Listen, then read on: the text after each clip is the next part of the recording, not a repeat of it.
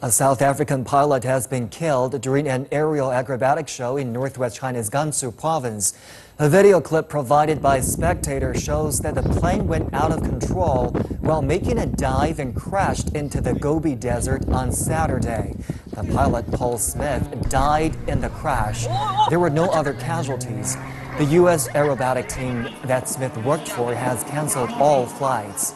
Organizers said the weather conditions met performance standards and the rest of the show went ahead as scheduled. An investigation into the accident is underway.